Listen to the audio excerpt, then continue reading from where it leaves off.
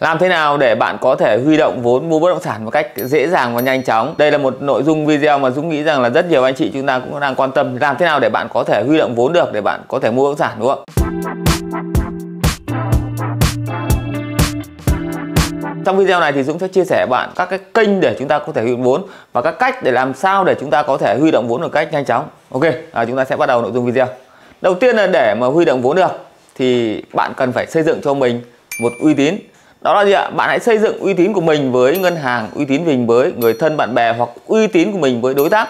Bởi vì chúng ta có ba kênh để chúng ta có thể huy động vốn. Một là chúng ta có thể sử dụng ngân hàng. Hai là chúng ta có thể sử dụng cái vốn của người thân, bạn bè. Và thứ ba là chúng ta có thể huy động vốn từ việc mời, kêu gọi đầu tư chung. Và với ba cái nguồn này, ba kênh này, việc của bạn cần làm duy nhất là hãy tạo dựng cho mình một uy tín. Ví dụ, đối với ngân hàng, thì bạn phải chứng minh cho họ thấy rằng là gì ạ?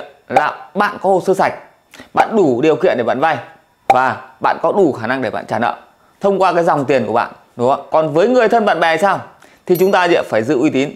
Có nghĩa là bạn nói là bạn phải làm, bạn phải thực hiện. Khi bạn nói ngày một bạn trả là ngày một bạn phải trả và ngày hai bạn trả là ngày hai bạn phải trả.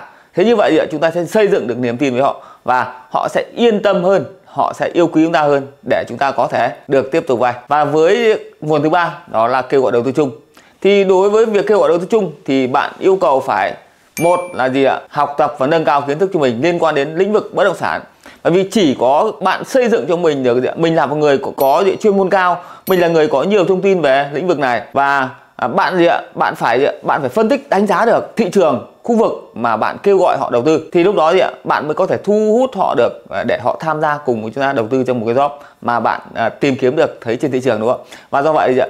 Cái quan trọng nhất thì chúng ta thấy rằng là kiến thức uy tín là hai thứ mà bạn cần phải có để bạn gì ạ? Bạn có thể huy động vốn một cách nhanh chóng, hiệu quả trong trường hợp mà chúng ta tham gia đầu tư bất động sản. Ok, và các bạn thấy rằng là nội dung video này hay thì hãy chia sẻ đến người thân bạn bè mình để có thể họ cũng được tiếp cận và họ biết được cái cách để họ có thể huy động vốn, họ mua bất động sản một cách hiệu quả.